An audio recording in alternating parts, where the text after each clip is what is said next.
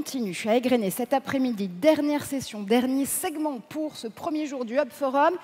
Pour accélérer, pour scaler, c'est la raison pour laquelle Emmanuel Vivier et Caroline Loisel m'ont rejoint directement sur cette scène. Un pilier sine qua non aujourd'hui, c'est définitivement la façon de donner cette clé d'apprentissage à ses salariés, à ses collaborateurs, mais aussi le bien-être au travail. Comment ça se passe? Merci. Euh, on va juste récupérer les, slides.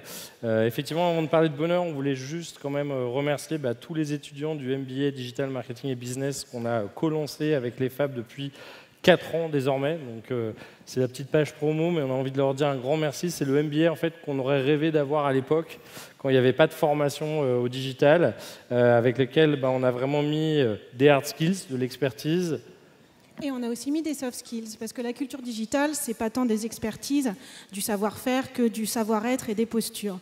Et dans ces postures, on nous parle beaucoup dans la culture digitale depuis quelques années du fameux bonheur. Alors quand on a un problème en France, on a tout de suite une solution qui s'appelle le Chief Happiness Officer. Mais on va essayer d'aller plus loin, de pas forcément rentrer dans les fonctions du Chief Happiness Officer. On va plutôt essayer de parler du bonheur avec ses mythes et ses réalités. Parce que c'est vrai qu'effectivement, en France, on aime bien quand on a un problème, soit embaucher quelqu'un avec un nouveau titre, soit acheter un logiciel, en espérant que ça règle les choses. Alors, qu'est-ce que le bonheur? Est-ce que euh, certains d'entre vous euh, veulent juste nous dire un mot pour vous? Qu'est-ce que c'est le bonheur? Un mot. Une idée comme ça, à la volée, allez-y. Le bonheur pour vous, c'est Oula, c'est loin. C'est calme, hein, le bonheur chez vous. C'est hein. calme, c'est très calme. De la méditation, peut-être? Ah, on a Liberté, on nous dit, Olivier, Bertin. Oula, c'est... Être bien avec les autres. Ça, c'est intéressant, c'est pas que personnel. Sensation physiologique. Oh là là, on a des définitions euh, sensitives euh, aujourd'hui. Alors en général, quand on parle du bonheur, euh, on a en gros des références, des mythes comme ça qui nous arrivent. Alors quand on interroge des, 40 ans, ça va être le bonheur dans les nuages, vous savez, les, bisounours, hein, je ne sais pas si certains s'en rappellent. Et récemment, jeudi dernier, j'ai interrogé des étudiants. Là, j'ai eu le bonheur est dans le pré. Donc en gros, le bonheur, il est soit dans les nuages, soit dans le pré, c'est au choix. Mais on va voir qu'il y a bien d'autres mots derrière le bonheur. Alors c'est vrai que derrière cette notion de bonheur, je n'ai pas encore parlé de happiness at work, hein, mhm. on s'aperçoit déjà qu'elle est très variée, cette notion d'une personne à l'autre. Pour certains, ça va être vraiment un côté euh, très hédoniste, hein, euh, je, suis là pour m'éclater, il faut avoir euh, du fun. Pour d'autres, ça va être ce côté d'équilibre, d'harmonie. Pour d'autres encore, à la limite, ça va être sortir de sa zone de confort, se faire mal parce qu'on est sportif et qu'on veut battre l'adversaire, on veut battre son propre euh, euh, record. Et donc finalement, ça peut être très inconfortable, le bonheur euh, pour certains. Et puis pour d'autres, c'est même la transcendance. C'est à la limite, je me mets au service d'une cause ou d'une foi, pourquoi pas. Et donc si on résume de manière assez caricaturale, finalement, on a un peu la vie de plaisir avec les hédonistes et, nos amis les rappeurs. Euh, on a un peu la vie engagée. Alors des fois, quand on est un peu trop engagé comme Elon Musk, on est limite burn-out. Mais en tout cas, tant qu'on n'est pas au burn-out, on peut être très impliqué dans son travail, se, révéler euh, là-dedans. Et on va retrouver Aristote. Et puis, la vie riche de sens pour certains, où finalement on parlait des autres. Ça peut être aussi euh, finalement se révéler dans le service des autres, d'une cause, de quelque chose d'un petit peu plus grand que soi.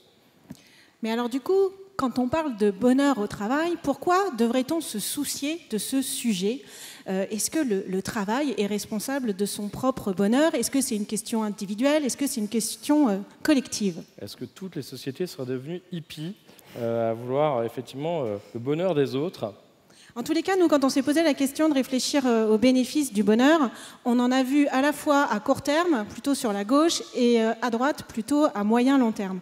Sur la gauche, on se dit, bah forcément, ça va faire baisser le turnover, ça va faire baisser les congés maladie, on aura quand même plus de, de personnes présentes à un moment donné, ça peut faciliter le changement. Parce qu'il n'y a rien de mieux que d'être heureux, d'avoir cette envie d'apprendre. On se souvient, quand on est enfant, on est dans cette magie, dans cette curiosité, à la fois créative et à la fois volonté d'apprentissage permanent. Et c'est ce qu'on retrouve avec la notion de bonheur, même quand on est adulte. Attirer les meilleurs talents, bien sûr, et puis plutôt à moyen long terme, booster l'innovation et pérenniser le business euh, et l'entreprise, à la fois améliorer, la fidélité et puis euh, booster la créativité. Alors évidemment, on vous a pas mis les centaines d'études qu'il y a derrière tout ça, mais effectivement, croyez-nous, il y en a énormément. Ça paraît assez évident et logique que plus on est épanoui, euh, mieux ça marche. il y en a encore qui arrivent à faire du management du stress, mais ça dure pas très longtemps. Euh, et effectivement, on voit bien qu'il y a un besoin de sens euh, et d'épanouissement. Maintenant, quand on a dit ça, ok, super, on est tous convaincus qu'il faut plus de bonheur au travail. Et pourtant, bah, on voit bien que ce n'est pas si simple. Euh, on se dit, bah, ok, euh, on voit bien que déjà les gens n'ont pas forcément les mêmes attentes. Donc qu'est-ce qu'on fait euh, pour booster le bonheur au travail? Alors, si seulement j'avais le fameux avoir, alors forcément, je serais tellement heureux. Alors par exemple, si j'avais des, des nouveaux bureaux, c'est ça? Voilà, si j'avais plus d'équipes, plus de moyens, euh, si j'avais euh, un meilleur salaire. Enfin, on voit bien qu'on se dit toujours, non, mais c'est sûr, le jour où j'aurai ça, bon, bah là, je pourrais être heureux. Bon, là, aujourd'hui, euh, c'est moyen, il y, a du bien, il y a du mauvais, mais c'est sûr, si j'avais cette espèce de, de chose mythique que j'ai du mal des fois à définir, je suis persuadé que j'irais mieux. Et effectivement, quand on voit certains locaux, Aujourd'hui, en comparaison des startups, en comparaison de nos amis les GAFA, de temps en temps, on se dit un petit peu, bon, bah, effectivement, c'est sûr que si on avait des, locaux euh, tout colorés, euh, euh, ça serait génial. Alors, c'est Critéo, j'avais montré un petit bout de la vidéo ce matin, qui nous en a fait une alors, au-delà de nous montrer euh, effectivement leurs super locaux, plus loin dans la vidéo, on n'aura pas le temps de le voir, ils nous parlent aussi du sens et de ce qu'ils font en interne. Euh, mais on va lancer la, vidéo derrière, en régie, euh, pour se rappeler finalement ce qu'on voit un peu tous en ce moment dans beaucoup de grandes entreprises. Alors, on ne va pas toujours s'en plaindre, mais peut-être des fois un côté gadget. Donc, si on peut lancer la vidéo.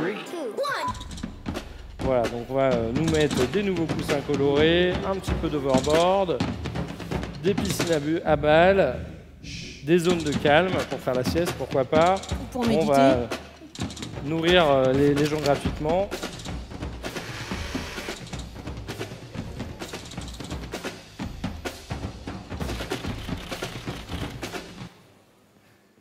Voilà, donc c'est vrai que on peut euh, trouver ça sympathique et en même temps on voit bien que ça atteint euh, assez vite ses limites. Alors on pourrait se dire du coup, bah, est-ce qu'on augmente les salaires hein? Si on paye les gens plus, ils seront euh, plus heureux Bah oui, pourquoi pas? Mais alors du coup, ça aussi, on va potentiellement être dans l'avoir. Est-ce qu'il n'y a pas une limite à cette, finalement cette, ce tremplin vers toujours plus de salaires?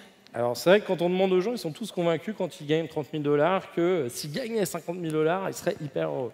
Le problème, c'est quand on demande à ceux qui gagnent 100 000 dollars, ils nous disent bah, si je gagnais 250 000 dollars, je serais vraiment heureux.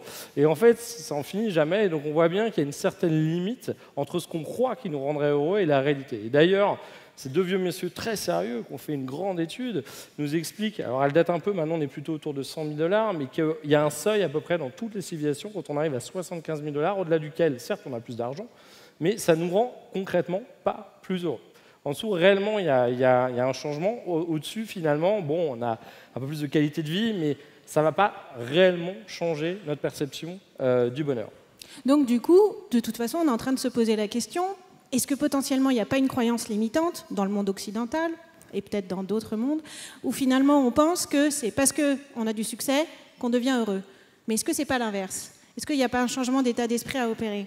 Parce que finalement, quand on regarde ce type de profil, on en connaît tous autour de nous euh, qui ont euh, des super jobs, euh, qui ont des super salaires, et puis à un moment donné, ils ont envie de changer de vie. on connaît tous quelqu'un qui était peut-être dans la pub, qui est passé décorateur d'intérieur, ou peut-être qui était dans la com et qui, est passé créatrice d'un restaurant, des choses finalement très tangibles. Et puis deuxième exemple, on peut aussi avoir quelqu'un qui travaille dans une ONG, qui travaille dans des conditions quand même forcément pas très facile, euh, avec un salaire euh, pas forcément très élevé, et qui pourtant, pour rien, ne lâcherait son poste. Alors on voit bien que effectivement, les compensations, les avantages, c'est un plus, mais finalement ça c'est de la satisfaction professionnelle, c'est du bien-être, c'est sympathique, c'est des conditions matérielles, c'est agréable, mais c'est pas forcément suffisant. Et ce n'est pas ça qui va nous rendre plus productifs, créatifs, motivés réellement et foncièrement. Ce qui va vraiment nous impacter et qui va vraiment créer du bonheur au travail, en fait, alors évidemment, si on est sous-payé et si on est vraiment dans des conditions horribles, ça aura un effet négatif. Mais ce qui aura un effet positif là-dessus, en fait, c'est les résultats et les relations sociales. Et c'est vrai qu'on a toujours envie d'acheter un logiciel ou changer du matériel. On s'aperçoit finalement c'est des choses pas si coûteuses, mais un peu plus complexes, à savoir les résultats et les relations. Donc dans les résultats, on a le sens, on a les valeurs, on a la reconnaissance. La reconnaissance, elle peut être à quatre niveaux. Ce n'est pas forcément que la performance business, c'est la reconnaissance de sa personnalité, la reconnaissance de son effort, indépendamment des résultats, et la reconnaissance de son expertise. Et peut-être que c'est des choses qu'on n'évalue pas forcément assez bien aujourd'hui. Et puis les relations, c'est finalement comment je me sens euh, bien et comment je m'éclate avec certes l'entreprise, mais mon manager, mes équipes et des fois le monde extérieur, parce que c'est vrai que souvent dans une entreprise, c'est un peu comme si on faisait, euh, voilà, on, on se sentait isolé. Aujourd'hui, c'est plein d'actions qu'on peut mener. Euh, aujourd'hui, ça sera un peu court pour les détailler, mais on peut faire plein d'actions tout au long de l'année pour vraiment recréer la relation, reconnaître les résultats euh, et puis euh, redonner du sens aux gens. Et ça, ça va avoir finalement beaucoup plus d'impact que le côté très matériel, avec juste cette nécessité par contre d'être constamment en train d'innover, puisqu'aujourd'hui on s'habitue très vite aux avantages qu'on nous propose, on s'habitue très vite aux routines, qu'elles soient d'ailleurs désagréables, donc là c'est de la résilience, ou qu'elles soient agréables, et finalement euh, là euh, on va être juste un petit peu blasé, donc il va falloir non seulement renforcer ses relations et reconnaître ses résultats, mais le faire de manière constamment renouvelée. Donc on parle de l'adaptation hédonique.